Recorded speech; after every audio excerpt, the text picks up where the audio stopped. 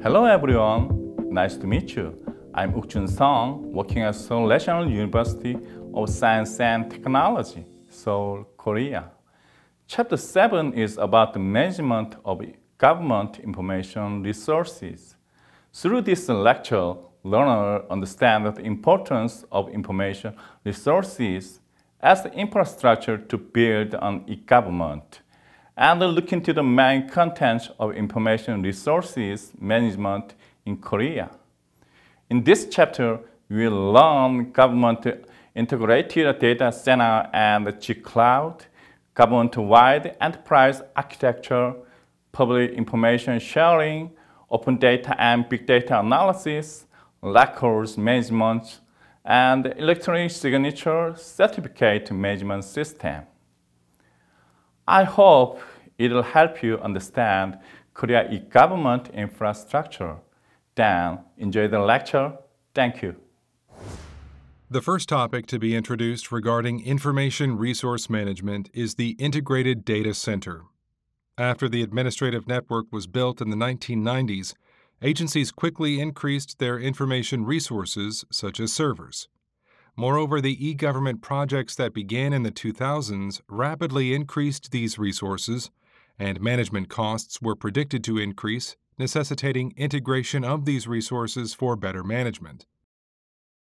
Currently, the Government Integrated Data Center consists of two centers, Daejeon and Gwangju, and a third center is under construction in Daegu.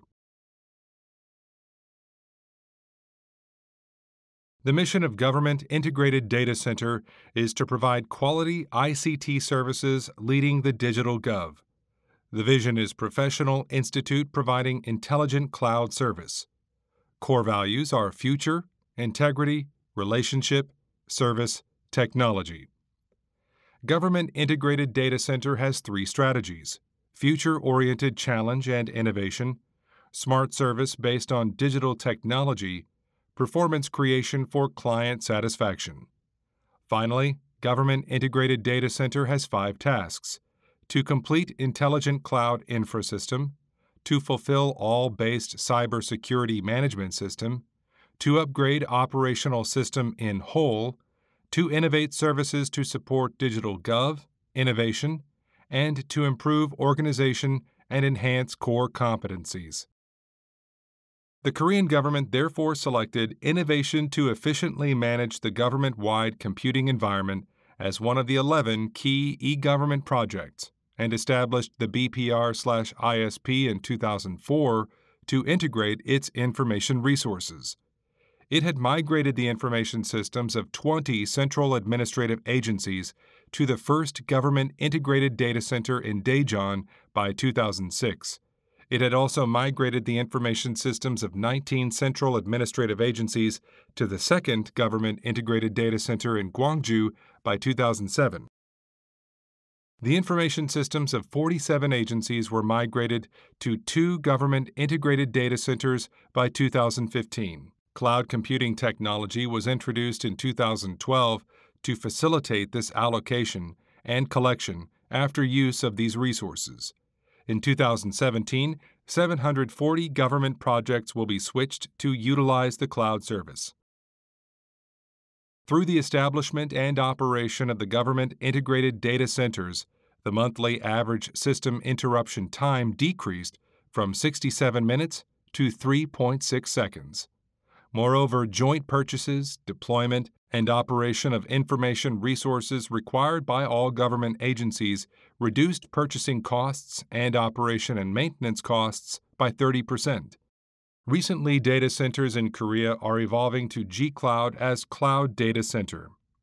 Korea's implementation of cloud policy began on full scale in September 2015 with the implementation of the world's first Cloud Computing Development and User Protection Act, the Cloud Computing Act in short. In November of that same year, five ministries jointly developed and announced the first Basic Cloud Computing Development Plan. The National Intelligence Services G Cloud Service, NIRS, is a good example of an attempt to incorporate cloud computing into an administrative environment. In 2013, G Cloud Service was started. In 2017, Roadmap for Intelligent Cloud, iCloud, was completed. Until 2022, government will complete iCloud computing service. Currently, G Cloud services are provided by all government departments in Korea, including the Ministry of Education, such as National College Scholastic Ability Test, one click reporting on education expenses, etc., and Statistics Korea, such as Population Survey, Total Survey on Agricultural and Fisheries Industries, Basic Survey on Households, etc. The following figure lists some representative cases involving Statistics Korea and the Ministry of Education. The second topic to introduce regarding information resource management is the government wide enterprise architecture. Continuous development of information systems by the government led to rapid increases in information resources to operate them, and thus their size and complexity also increased. Moreover, the interoperability between hardware and software was made insufficient, since several different information systems were constructed even within one institution. There were also problems of a lack of data standardization and of duplicate development of similar projects. These issues needed to be dealt with at the government wide level. The Korean government therefore adopted EA, Enterprise Architecture, as a tool for this job. Therefore, as a planned IT management, EA has the following advantages. EA enables system development aligned with vision and biz requirements. EA ensures system integration and seamless information flows. EA minimizes redundancy in IT system investment. Enterprise architecture is a management system that identifies the informatization related elements of an agency, such as its current tasks, tasks desired in the future, information systems and data, and sets down a comprehensive informatization design based on the mutual relationships among these elements from the perspective of the agency, as well as a system for managing informatization based on this design. Incorporating EA into the investment activities in informatization in the public sector can facilitate the effective management of the complex and vast information resources held by the agencies, and induce the planned and systematic promotion of informatization through analysis of differences in statuses and goals. Therefore, EA is a framework and method to analyze and optimize organizations' components based on standardized rules and processes. The Act on Efficient Introduction and Operation of Information Systems was enacted in 2005, which mandated that public agencies adopt the EA, leading to a government wide EA system in 2009. A government wide EA portal was set up to prevent duplicate investment on e government projects, to integrate and link the systems by government service, and to improve interoperability by sharing, analyzing, and utilizing the EA information developed by each agency. As of the end of 2016, 18,434 information systems and more than 330,000 information resources operated by more than 1,200 public agencies were registered in the government wide EA portal. Public agencies must use EA to check for duplication, ensure feasibility, and review technology in advance when implementing e government projects. Since 2008, all services provided by the government have been analyzed step by step. The analysis has drawn finalized models for the different services from the user's points of view rather than those of the service providers. Such finalized models are managed through the target architecture of Pan Government EA, and each agency promotes its informatization projects aimed toward these models, thus accomplishing gradual area specific integration. Also, EA led to a total budget reduction of 438.6 billion Korean won over the four years between 2009 and 2012. In recognition of the outcomes of the government wide EA, it received a UN public service in 2013. Continuous efforts are still being made to improve service quality and transparent national informatization.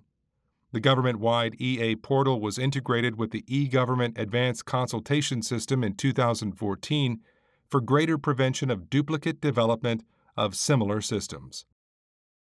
The GEA portal enables real-time government-wide information resource management.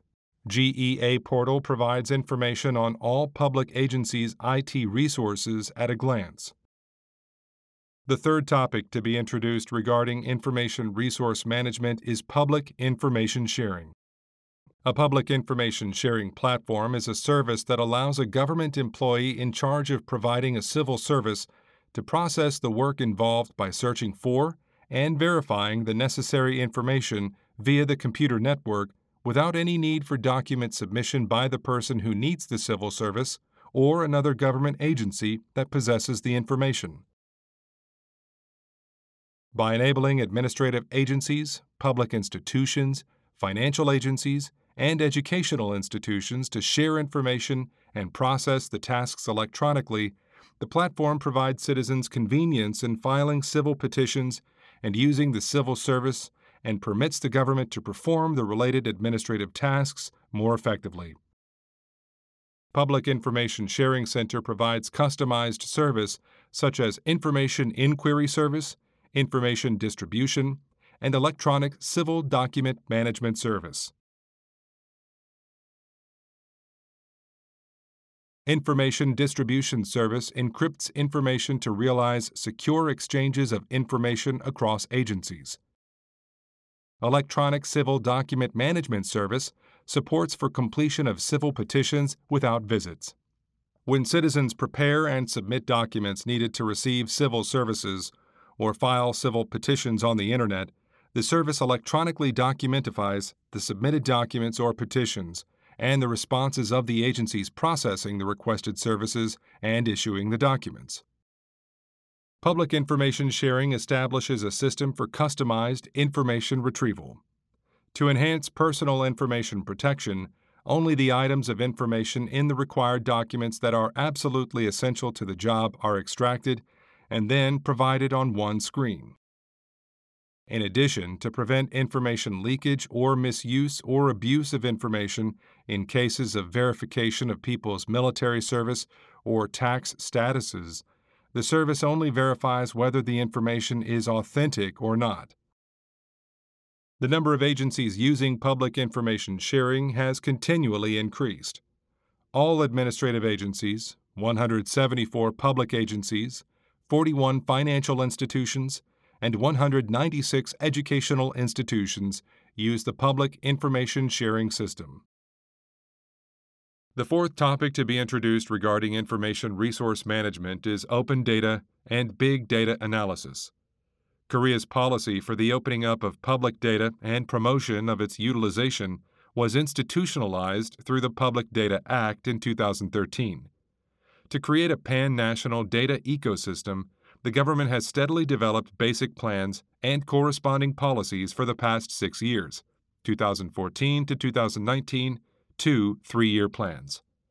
As a result, Korea has ranked first in the OECD's Public Data Opening Index for the past three consecutive years in 2015, 2017, and 2019. In addition, the opening up of public data has enabled an expansion in employment of 8,600 people at 545 companies, and the contribution to sales through public data opening has been 26.7%. In addition to this, the survey results answered by 679 numbers of companies using open data showed that open data has useful effects in various aspects, such as employment expansion business expansion, new service development, and cost saving. In Korea, big data analysis based on data accumulated so far is attracting more attention than ever. The concept and use of big data began to be applied to Korea's e government system when the Ministry of Interior and Safety reported to the President on a plan to implement smart government using big data in November 2011. Later in April 2012, the government opened the Big Data Strategy Research Center under the National Information Society Agency. In July 2013, the government launched the first ever project to establish common infrastructure for the use of big data and launch a pilot project. Conducted in 2014, this project executed a series of tasks, including the sophistication of the existing big data platform and storage and accumulation of big data for shared use, as well as 11 occasional analytical tasks. A high capacity data storage system was built in such a way that various types of information, such as population movement, toxic substance of medicine, weather, and traffic volume information, can be accessed and used by various parties. Also, the collection of social media data in the private sector has increased dramatically, and data produced through simple statistical analysis, including spatial information based analysis and online analytical processing OLAP analysis have been added for real-time retrieval. By way of using the common big data infrastructure, central ministries and local governments now have the capability to analyze urgent social issues at any time. In addition, the launch of new pilot services has made it possible to provide various analysis based services, including fire forecasting, smart disaster safety alerts, drug side effect information, personal information protection, and road risk forecasting. The fifth topic to introduce related to information resource management is records management. The National Archives of Korea, the central institution for records management, oversees the management of public records in Korea. As a permanent records management institution, the National Archives of Korea collects and systematically preserves major national records so that all citizens may utilize them easily and conveniently.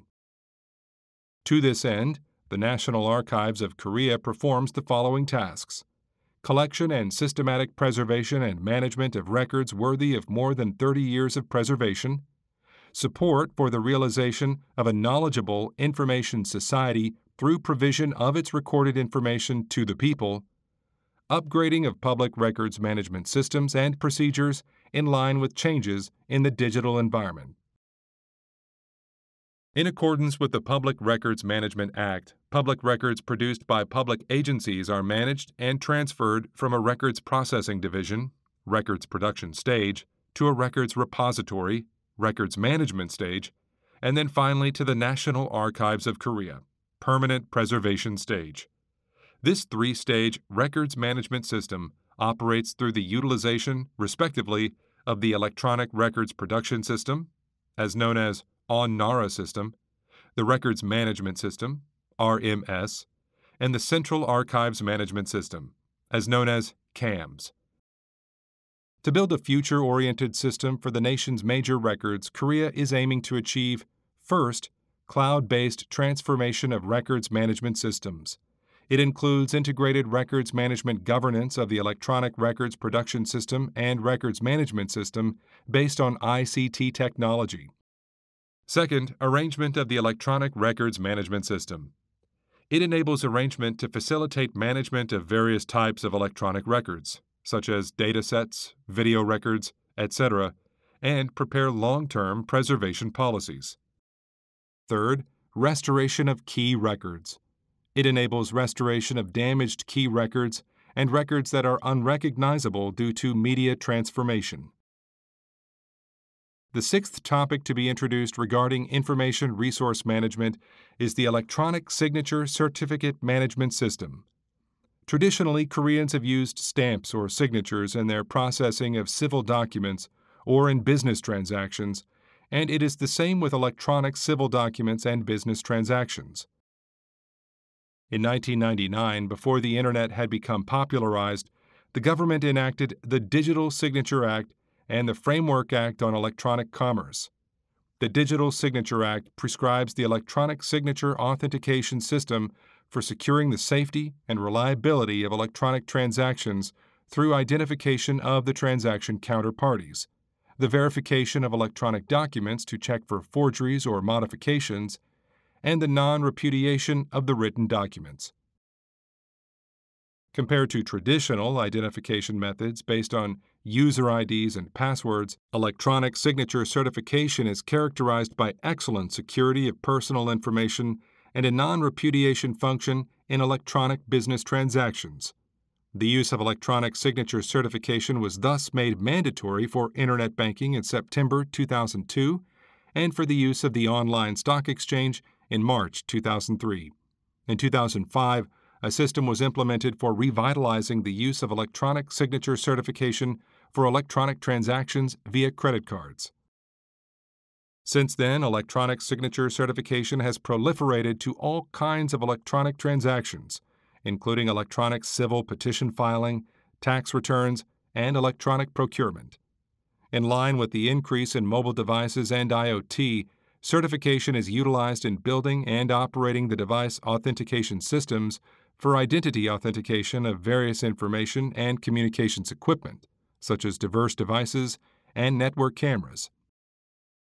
Certain crucial systems had been protected only by usage of user IDs and passwords, because the various administrative agencies or transaction systems used different user certificates and access management, and danger thus remained of exposures of important data while workloads were increasing as people needed to change their account and access information every time they changed positions during personnel reshufflings. Moreover, in order to alleviate the inconvenience of having to log on for every use of the e government systems and to enhance reliability, the Single Sign On, as known as SSO system, was established in 2009 for government services. In 2010, agencies systemized their single sign on and accessibility management through the Integrated Accessibility Management System, which was Single Sign On Gateway. Currently, the government is set to abolish the mandatory use of the Public Accredited Certificate of Authentication, which was introduced in 1999 in line with the Internet boom. It has been cited as one of the most outdated regulations in the financial industry due to its complex usage. The years long controversy over the system ended in May 2020 when the National Assembly passed a revision to the Digital Signature Act. The rapid rise of biometric identification systems with higher security also boosted the discussion on the abolishment of the existing public system. Banks are moving to adopt fingerprint, face, or iris scan recognition systems for users to access their banking apps. A four digit password system is also widely in use.